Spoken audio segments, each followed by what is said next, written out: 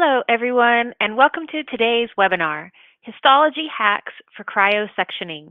I am Marie Stone of LabRoots, and I'll be your moderator for today's event. Today's educational web seminar is presented by LabRoots and brought to you by Leica Biosystems. To learn more, visit leicabiosystems.com. We encourage you to participate today by submitting any questions you may have during the presentation. To do so, simply type them into the Ask a Question box and click Send. We'll answer as many questions as we have time for at the end of the presentation. You may also submit any technical issues here as well if you have trouble seeing or hearing the presentation. This webinar is educational and thus offers free continuing education credits. Please click on the Continuing Education window at the bottom of your screen to obtain your credits. I'd like to now welcome our speaker, Marla Rivera Oliver, Sales Specialist, Histology Consumables, Leica Biosystems. Marla, you may now begin your presentation.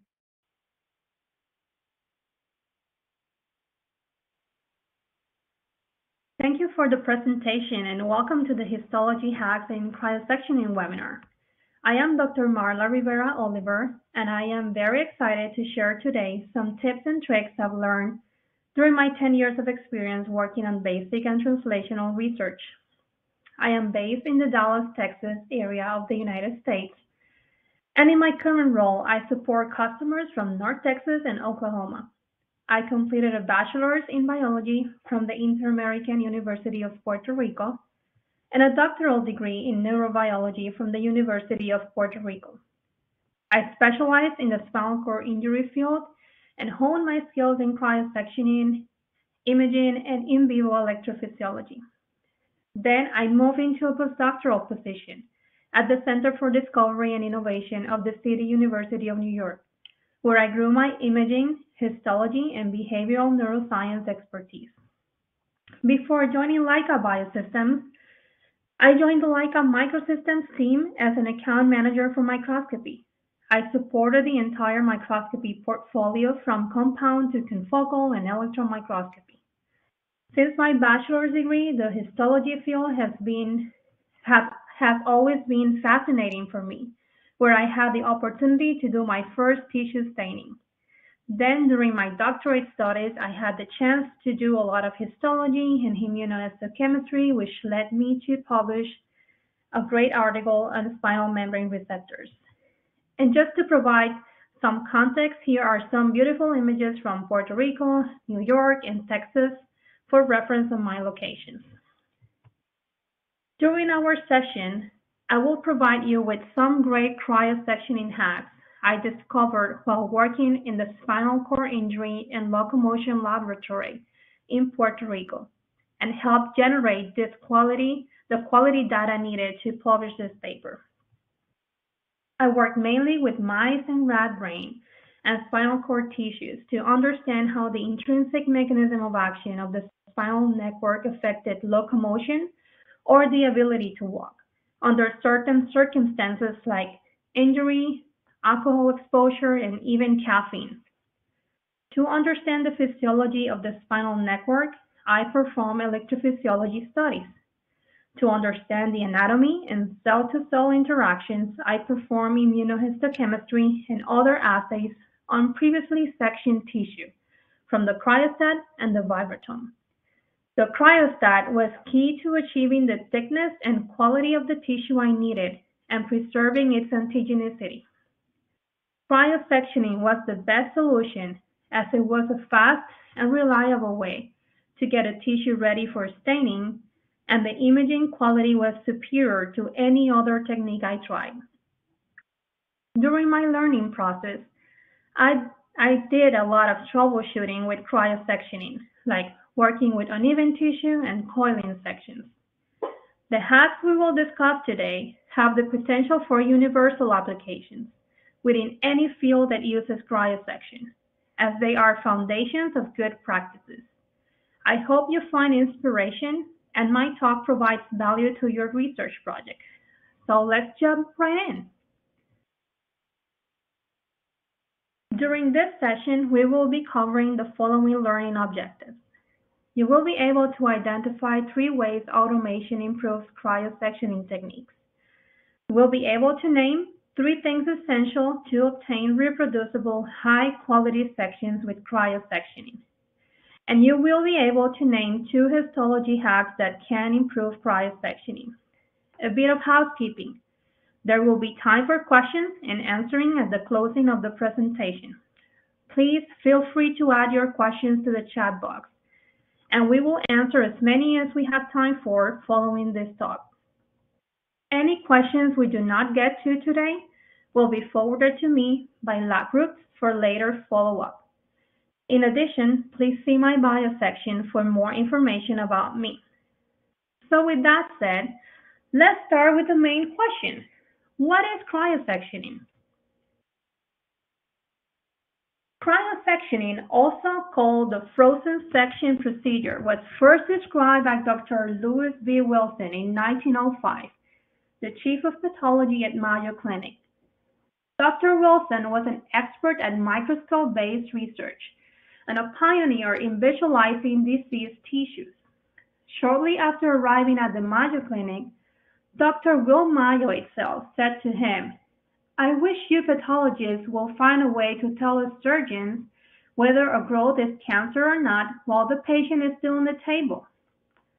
Dr. Will was frustrated that it involved one operation in getting a tissue specimen, days to determine if it was malignant, anxiety for the patient who had to wait for answers, and a second operation if lab results showed the patient had cancer.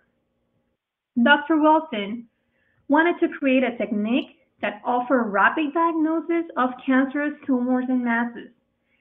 Because there was no fast way to provide a cancer diagnosis at the time, he invented cryosectioning. He was able to freeze, cut, stain, and give a diagnosis to surgeons within five minutes, oftentimes as quick as two minutes. Cryosectioning is widely used in modern science to perform microscopic analysis of numerous tissues with as many applications. The translational science field has embraced the technique to visualize fine details in cells. Let's talk about how that happened. In 1920, the Spencer Automatic Freezing Microtome 880 arrived. The microtome is like that used by Dr. Wilson although this particular model dates from 1920. But you can see how this cryosectioning technique gained popularity and new inventions arose. Currently, we have a wide variety of, of options available, from manual to automated cryosectioning. Several labs have developed specialized techniques for different fields to enable a faster workflow and a high quality throughput. But even though there are many techniques for cryosectioning, they still all must confer the same goal, reproducibility. And with cryosectioning, reproducibility could be a challenging task. There are at least three main factors that contribute to reproducibility. For me, those are rate of freezing, temperature, and cryopreservation. The freezing rate is when the expansion of the water content by freezing stretches and penetrates cell membranes. Slow freezing promotes ice crystal formation and thus expansion. Note that the freezing rate, not the end temperature, is critical at first. Fast freezing depends on several factors. The percentage of the total surface in contact with the cold source the volume of water, the starting temperature of the water in the specimen, and how cold the source is. Ideally, the cold source is at an extremely cold temperature over minus 80 degrees Celsius and arranged to contact all surfaces. Panel A shows the formation of ice crystals, a byproduct of a slow rate of freezing. Temperature. Temperature plays a big part in forming different types of ice that can affect tissue and ultimately how it is sectioned. For example, quick frozen or vitreous or amorphous ice is formed below minus 130 degrees Celsius. This type of ice is semi-stable, forms hexagonal crystals, and is the most common crystalline structure found on Earth. At above minus 130 degrees Celsius, amorphous ice begins to restructure as cubic ice, which gradually expands by result of low temperature and pressure and will potentially change the morphology of your tissue. Understanding the type of ice formation at different temperatures will help you understand why it's important to section your specimen below 131 degrees Celsius. Sectioning should be performed as soon as possible after biopsy or dissection and should begin as soon as the tissue is warm enough to cut.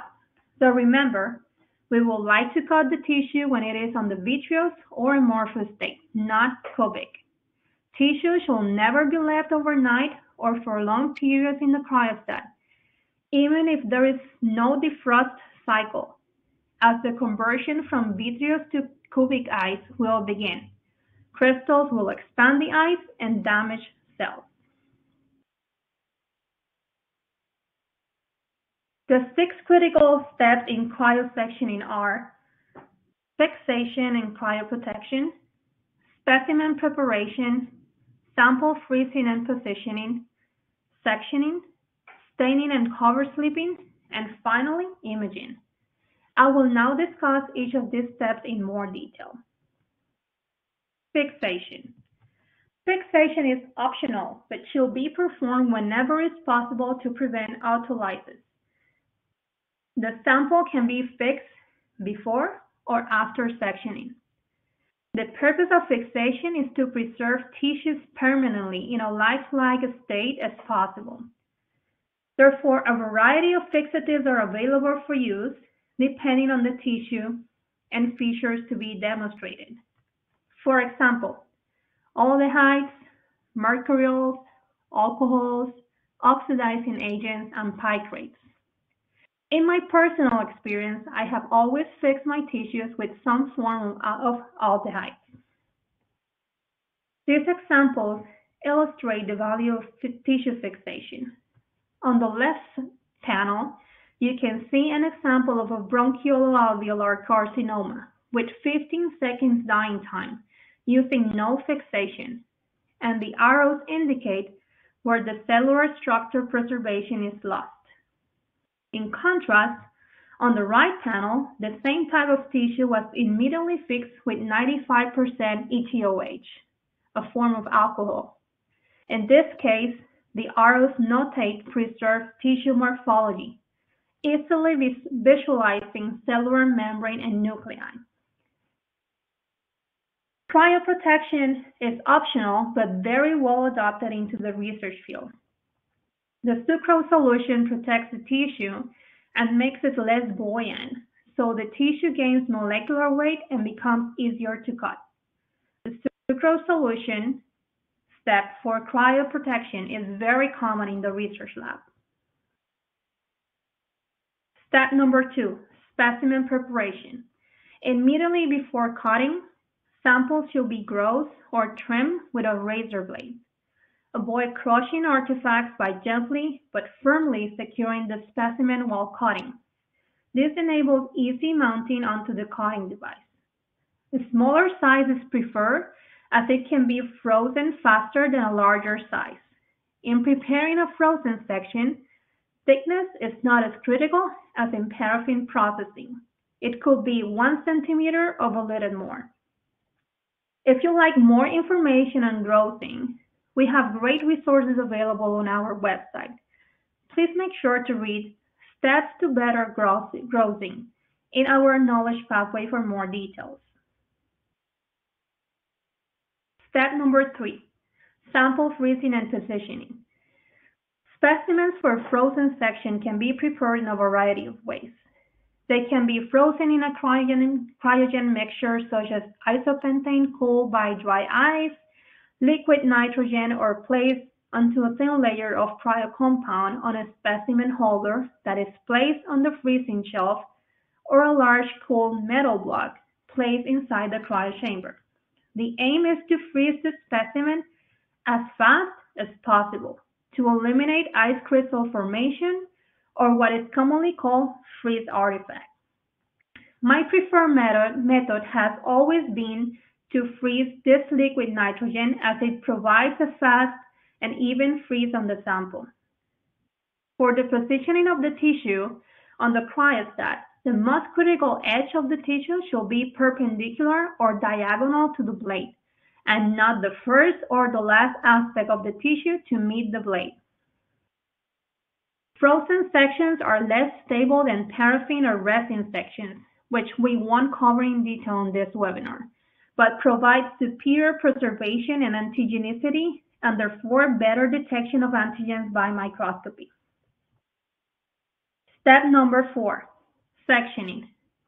I prefer to section tissue at minus 20 degrees Celsius and towel mount, mount sections on slides.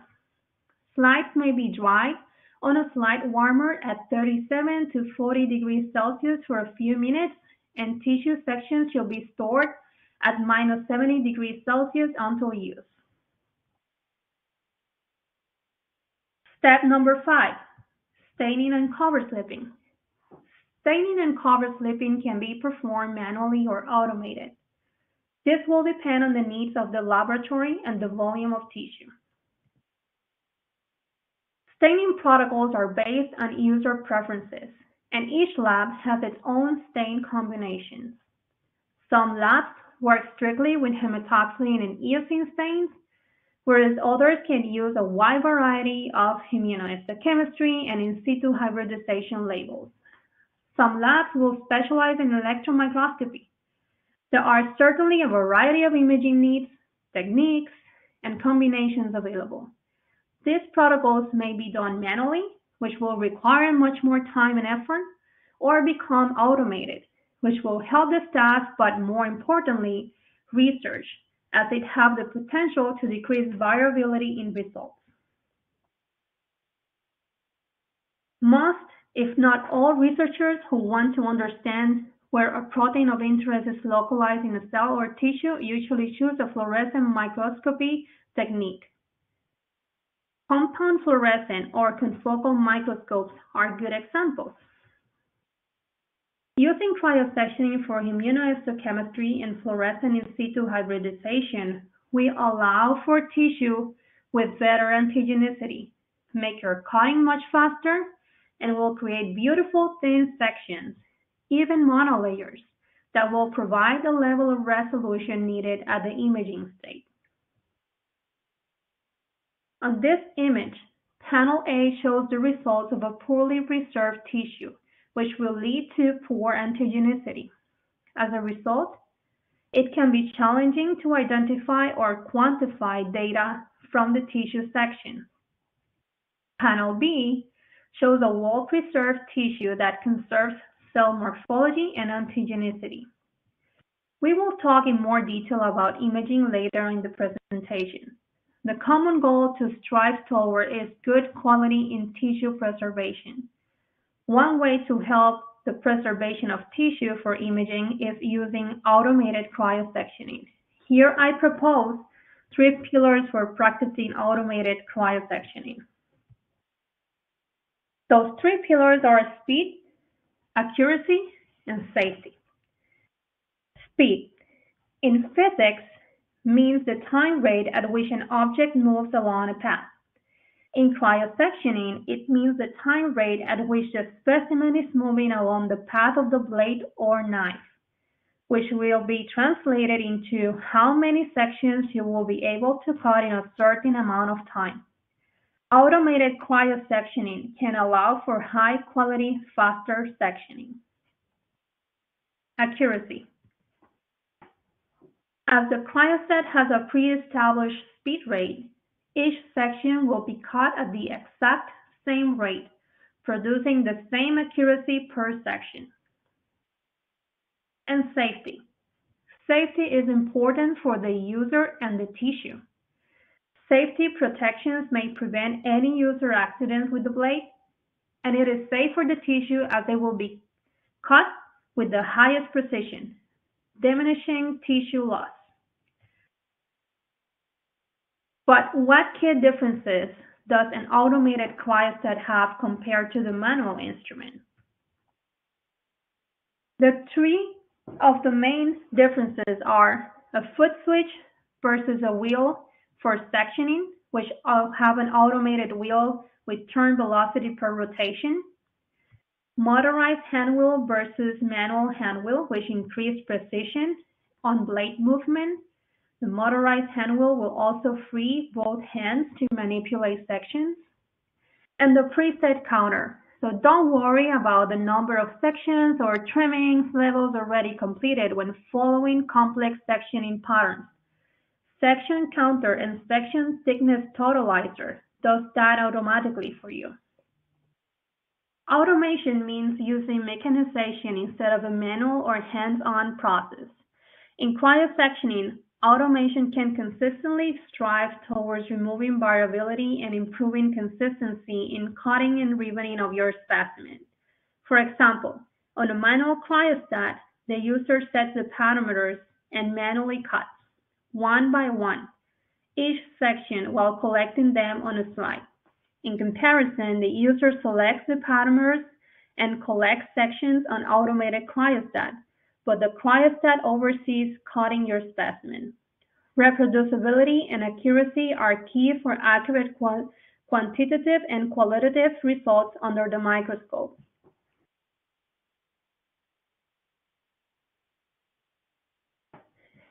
Imaging is a world of possibilities. Those possibilities will depend on tissue quality.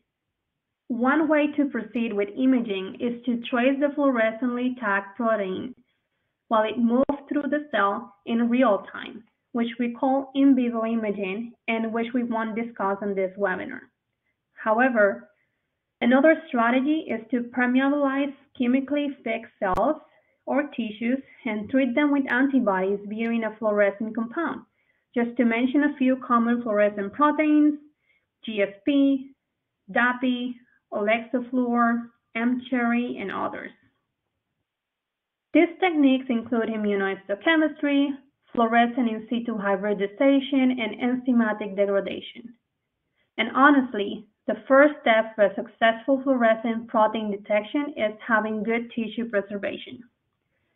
This image illustrates well-preserved tissue under fluorescent light microscopy on panel A, having a higher level of detail under thick confocal microscope on panel B, and the highest level of detail achieved under the electron microscope on panel C. None of the tissue morphology and antigenicity will have been preserved if the sectioning protocol had not been perfectly created for the tissue needs. So with that being said, do you know if you have the correct protocol for your tissue? How can you understand what is happening when your results are not as expected? I also had those questions, and I will now share several histology hacks that help me understand what was behind those undesirable results and how to overcome those challenges while cryosectioning. So my hack number one is to pay attention to your fixation protocol. Bad fixation will mean bad results. Whenever you are using a fixation protocol, the fixation time for cells or tissue should last at least 6 to 8 hours, independent on how thick the sample is. This time frame will allow for the covalent bonds to form and maintain the morphology of the tissue over time. For animal tissue, it is preferable to apply the whole body perfusion technique when available, as it will ensure proper fixation of all tissues. There are different approaches for fixation. The most commonly researched are 4% formaldehyde for fluorescent light microscopy or a glutaraldehyde solution for electron microscopy. Other techniques have been introduced to the field like high pressure freezing, which is a very interesting fixing, fixation protocol, but I have not tried myself. And then we cannot forget the sucrose solution that I like to include as part of my fixation discussion, because after fixation, the specimen should be placed in a sucrose solution to cryoprotect your tissue during the freezing process, and prevent the loss of morphology and antigenicity.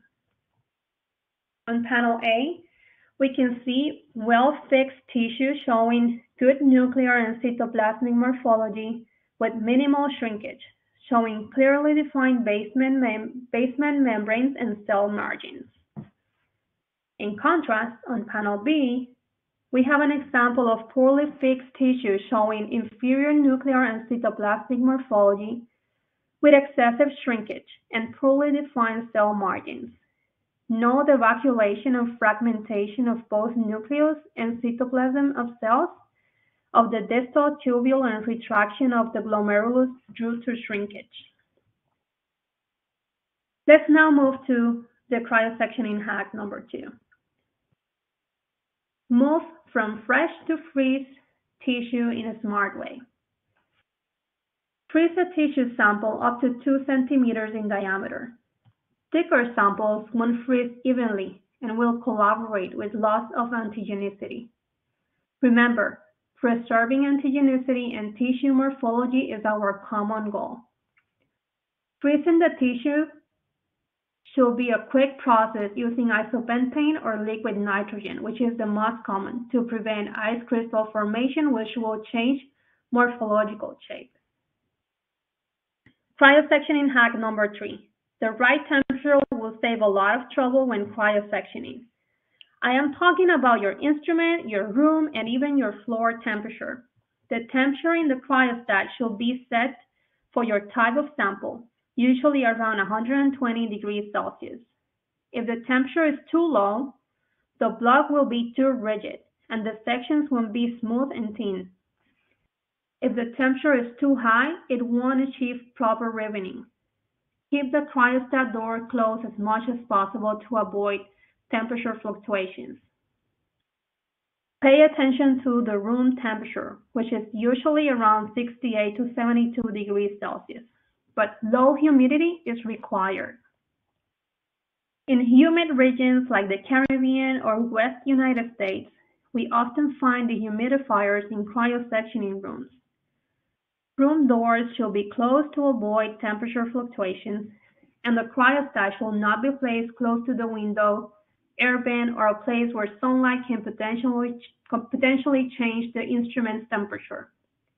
In summary, avoid as many temperature and humidity fluctuations as possible. Hack number four. Use the right tools to achieve the best results. The use of charge slides will help, will help with the section adhesion of sites. Use new blades each time you sit to cut. If the blade is dull, it won't cut thin and smooth sheets of, of tissue. Please remember to use a trimming blade and replace it with a new blade once closer to the specimen. You don't want to make your blade dull before starting to section your specimen. Ensure the specimen and blade are tightened securely and set to the desired temperature.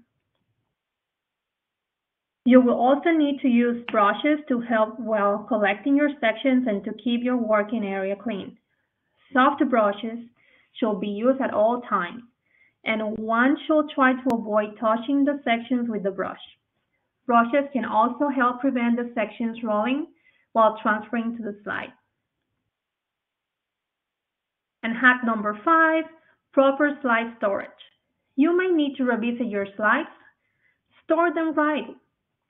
If fixation has been done correctly, your slides will remain intact for several months or even years. Temperature plays a huge role in proper tissue storage. The finalized slides can be stored for months at 4 degrees Celsius in a dark place such as a lab fridge or stored for more extended periods in an ultra-low temperature freezer, preferably at minus 20 degrees Celsius in a dark slide box.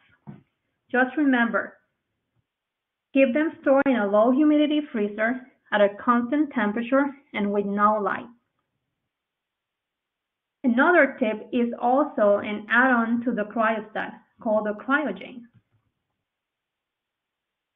The CryoJane transfer tape is a method for cryosectioning that makes it easy to produce high quality, frozen sections from difficult tissues. The CryoGen uses slides coated with an adhesive to help sections stick on the slide instead of the typical used brush. In addition, it can be used with Moss cryostats. This system can provide sections as thin as 2 microns with excellent quality characteristics such as being intact, wrinkle-free, and good adhesion to the microscope slide. It works by laying a piece of tape to the trimmed tissue block, and a section is cut as captured on the tape, which is then transferred to the adhesive coated slide. There are several videos on YouTube showing how CryoJane has been used. Type CryoJane on the search bar and you will find the videos. Now that we have discussed several hacks and tips about cryosectioning, I believe it is time to compare how these hacks will impact your cryosectioning quality. Here is a beautiful example of what can be achieved with a CryoJane device by Pinskiy et al. The method is also suitable for large brains such as rats and monkeys. Workflow steps are explained on panel A.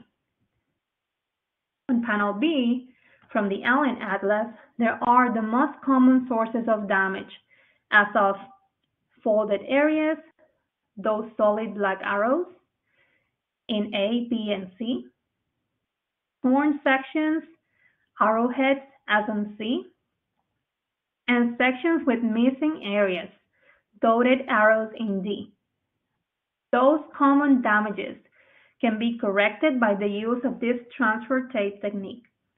The use of the CryoJane can help decrease tissue damage due to section collection. In the same study from Dr. Spinski, we show here thumbnail images of serial sections cut from a perfused mouse brain in three standard sectioning planes.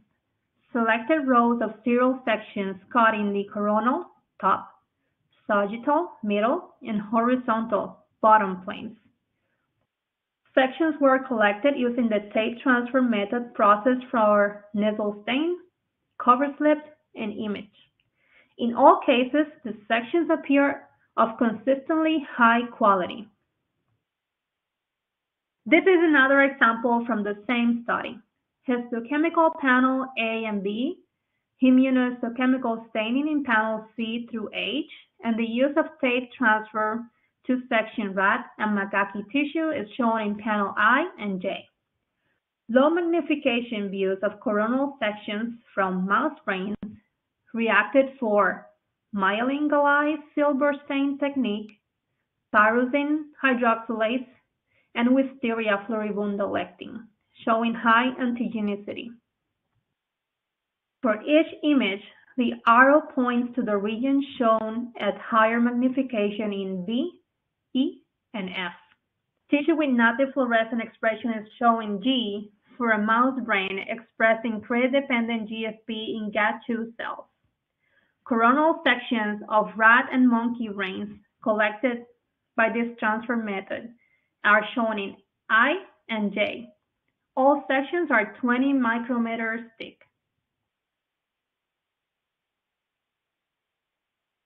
So today we have covered several topics of cryosectioning in research. We talk about what is cryosectioning, the three ways automation helps in cryosectioning, the five steps of the cryosectioning workflow, hacks for better cryosectioning, and two bonus hacks and additional tips. This brings my presentation to the end. Thank you for attending, and I will be happy to answering any questions. Thank you, Marla, for your informative presentation. We will now start the live Q&A portion of the webinar. If you have a question you'd like to ask, please do so now. Just click on the Ask a Question box located on the far left of your screen. We'll answer as many of your questions as we have time for. So let's get started. Our first question is, is there, prefer, is there a preferred method for tissue preparation for obtaining quality results?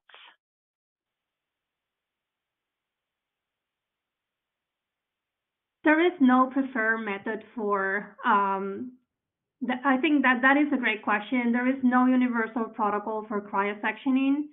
Each tissue has its own characteristics and it, each project has its own needs. So for me, a good starting point will be to find a peer review article that uses a cryosectioning protocol on your type of tissue and for a similar application. Um, laboratories in science are, for the most part, open to share protocols and even allow shadowing experiences. So another option will be to see if your institution has any histology or imaging core facility. Usually the staff at core facilities are very knowledgeable and in sectioning protocols and could be able to assist in the process. So the research field nourishes a very collaborative environment and you may find support at your own institution as well. Great, thank you. Our next question is, our lab currently uses a manual cryostat, and I struggle to get good sections on a constant basis. Can automation help me with that? It can be a solution for good sections if your pre-sectioning protocol, um, the temperature and the humidity are set right. So automation can help on providing constant reproducible sections and have the potential to make sectioning faster. Great. Well, it looks like we have time for one more question. Can you share some additional insights on why cryosectioning helps antigenicity? antigenicity? Yeah, so um, cryosectioning helps antigenicity because um, by preserving the tissue morphology, it is preserving membrane proteins that are targets for upstream staining protocols. Um, so cryosectioning a tissue that has not been fixed previously reduce steps on your staining protocol as an antigen retrieval process is not necessary. So the and the antigen retrieval is an approach used to reduce or eliminate chemical modifications due to fixation. Great. Well, thank you again, Marla, for your time today and your important research. We would also like to thank LabRoots, our sponsor, and our sponsor, Leica Biosystems, for underwriting today's educational webcast. Before we go, I'd like to thank the audience for joining us today and for their interesting questions. Questions we did not have time for today and those submitted during the on-demand period will be addressed by the speaker via the contact information you provided at the time of registration. This webcast can be viewed on demand. LabRoots will alert you via email when it's available for replay. We encourage you to share that email with your colleagues who may have missed today's live event. Until next time, goodbye.